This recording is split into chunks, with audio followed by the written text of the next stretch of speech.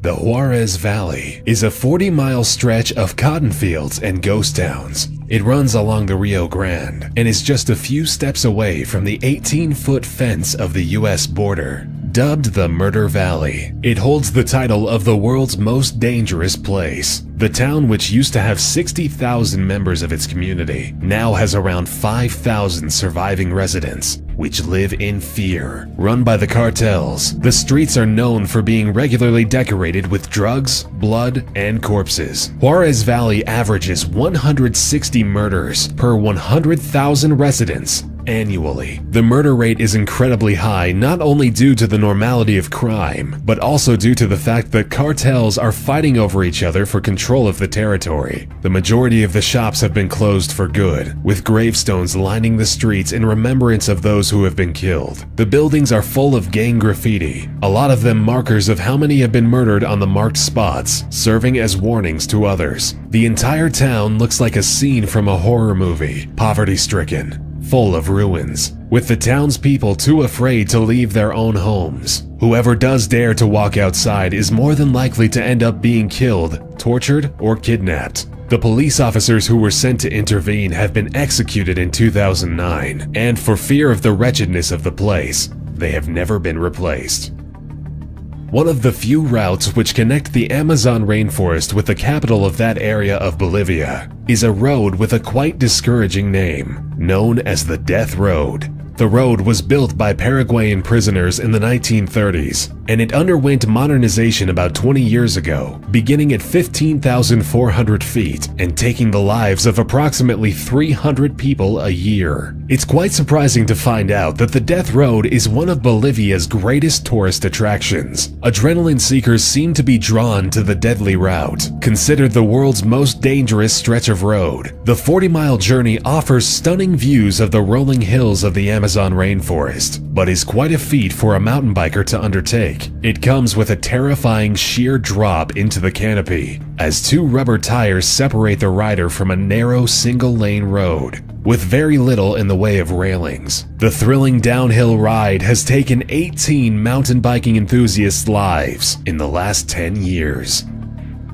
The North Anatolian Fault is an active fault, and quite a threatening one. Since the 1930s, devastating earthquakes have been moving westward throughout the land. The last big earthquake struck in 1999, with a 7.9 magnitude temblor devastating the city of Izmit. The death toll was a staggering number of 45,000. The fact that the wave of earthquakes is creeping westward is very worrying because the fault stretches 20 kilometers south of Istanbul, the largest city in Turkey. Istanbul is the country's economical, cultural, and historical heart. With a population of 14.4 million people, Istanbul is not only significant for Turkey, but for the world, as it is the world's fifth largest city, and the fault makes it one of the most dangerous places to live. Scientists expect that the next earthquake will shake the ground dangerously close to the city, with the possibility of triggering a series of small to moderate quakes. However, studies show that it's also possible the fault will create just one big, devastating shift in the ground,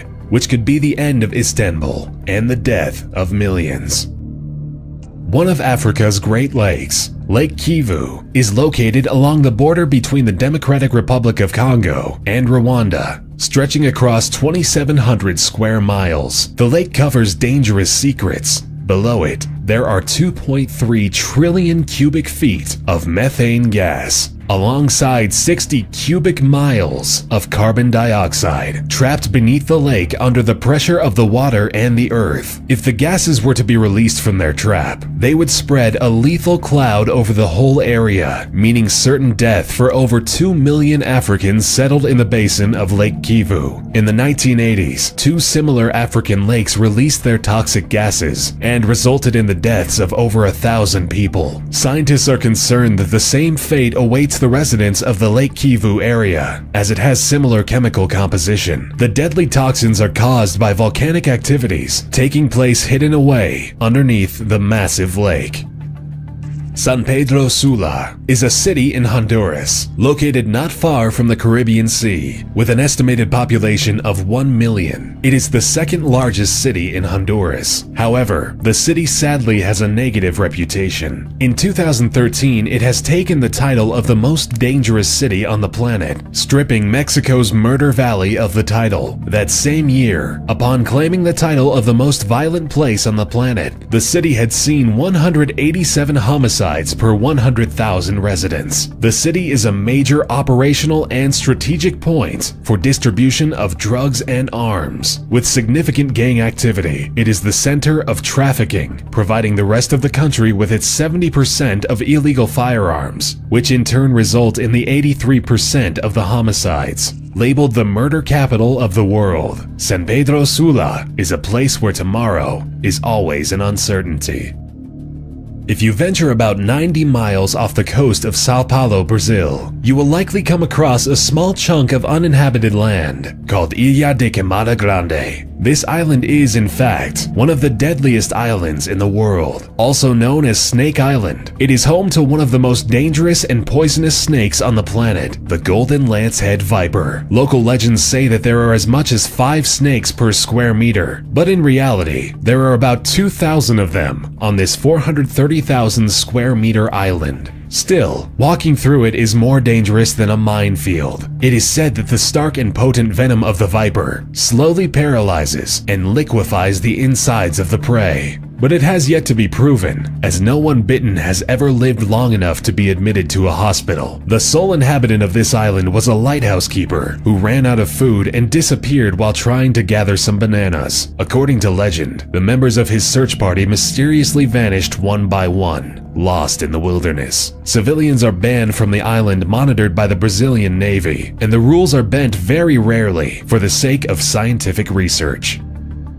Situated in the Huayin city, Mount Hua is known for its beautiful views and vistas, but also dangerous and deadly paths. Considered a holy place, Mount Hua is one of China's Great Five Mountains. Monks and pilgrims made paths and staircases as ways to climb the mountains in order to reach the five peaks. However, the climb is not for the faint-hearted. The mountain is considered the most dangerous climb in the world. With time, the paths have been reinforced because of the incline in tourists venturing out and seeking adrenaline-inducing adventures. But this mountain still remains one of the most difficult sites to conquer on Earth. The plank trail consists of wooden platforms, a bit over 2 feet wide, bolted onto the mountainside, and the only thing to secure oneself to it is an iron chain, which hovers freely in the air. And when the planks disappear, the only way to continue is by crossing steps on small divots carved into the mountain. Unfortunately, there are no exact statistics as to how many people die while on this path, but with local rumors naming about 100 deaths per year, the hike on Hua Shan surely lives up to its name, the deadliest hike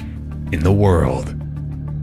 The Danakil Depression lies at the heart of Ethiopia's ancient salt trade, where Ethiopians have been making the long two-day trek to collect the salt for centuries, collecting it from the golden earth and bringing them back on camels, one of the hottest and harshest environments in the world. The sun and salt create amazing sun-blazed scenery, making the desert seem as if it were created out of white gold. The swirling sulfur and mineral salt formations create otherworldly scenery, creating an outlandish setting. One of the lowest places on the planet, the Danakil Desert rarely sees rain and is one of the hottest spots on Earth, where rivers dry up and turn into lakes of salt. With magma crater lakes on its edges, products of active volcanoes, the desert proves to be an extreme challenge to human beings trying to cross it.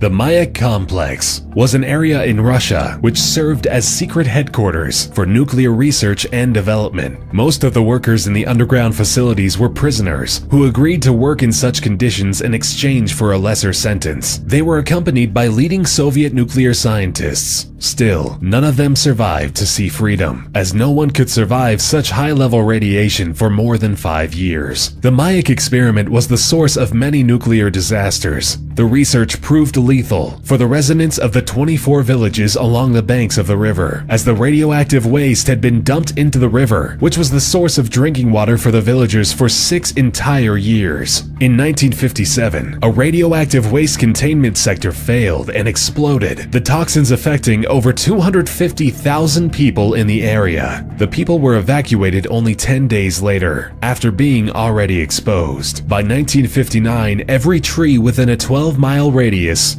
was dead. All of this was covered up by the government, leaving the people clueless to the lethal dangers they were living beside based on the number of violent crimes per 1,000 residents, and taking into account how many of those have needed the involvement of the FBI. Camden has taken the title of the most dangerous city in the USA. Camden is situated in the state of New Jersey on the east coast of the Delaware River. In the past year, Camden has seen 1,895 violent crimes, taking into account murder, rape, robbery, and aggravated assault. This might not sound like a great amount of crimes when compared to some other big cities. For example, Camden's neighbor across the river, Philadelphia, has seen 17,088 violent crimes last year. However, the key element that needs to be taken into consideration is the population of the city, which consequently leads to the average number of violent crimes per 1,000, which in Camden soars over the national average of 3.8 violent crimes per 1,000 1,000 people, with 25.66, more than six times the national average. This all leads to the conclusion that the chances of you becoming a victim of a violent crime is 1 in 39.